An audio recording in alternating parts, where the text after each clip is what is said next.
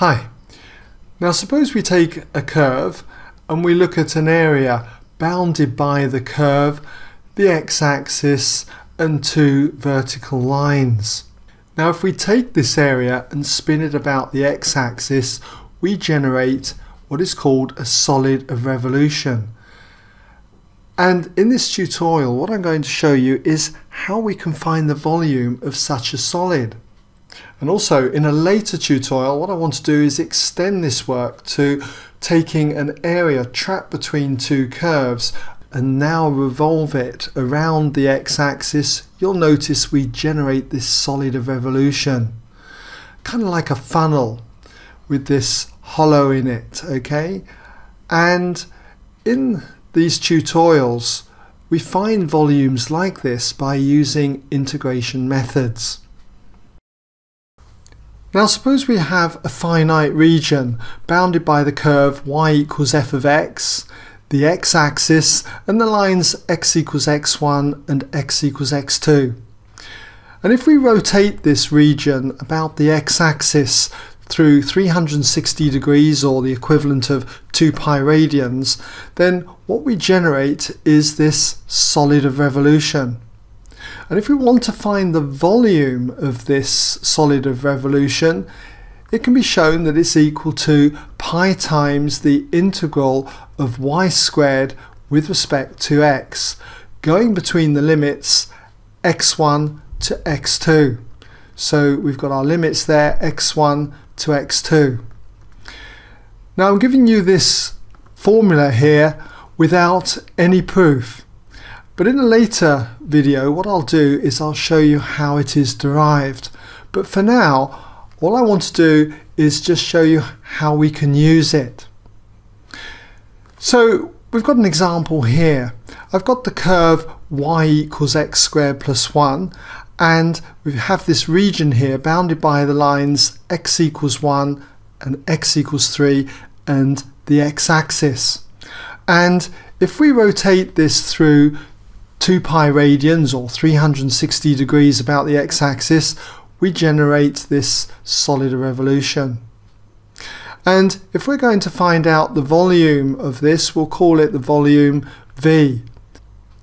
Then according to this equation up here, that volume V is going to equal pi times the integral of y squared, or y is x squared plus 1, so if we square that we've got x squared plus 1 all squared integrated with respect to x going between the limits x is 1 to 3 so we're going from 1 to 3 so in the usual way what we would need to do is expand the brackets. So we've got the integral from 1 to 3 of and expanding the brackets gives us x to the power 4 plus 2x squared plus 1 and we're integrating that then all with respect to x. And integrating this gives us, well, x to the power 5 over 5 for that first term. Integrate the 2x squared with respect to x and we get 2x cubed over 3. And finally integrating 1 with respect to x just gives us x. And that's going between the limits then 1 to 3. And if we substitute our limits in, we've got, for the first one, when we put the 3 through, we've got 3 to the power 5 divided by 5, and then plus 2 times 3 cubed, all over 3, and then plus 3. And then for that, we now subtract what we get when we put 1 through. So you're going to get a fifth for that first term, and then for this term that will be two thirds and then for the last term here it'll be plus 1 now if you use your calculator to work this out in terms of pi what you get is 1016 over 15 pi.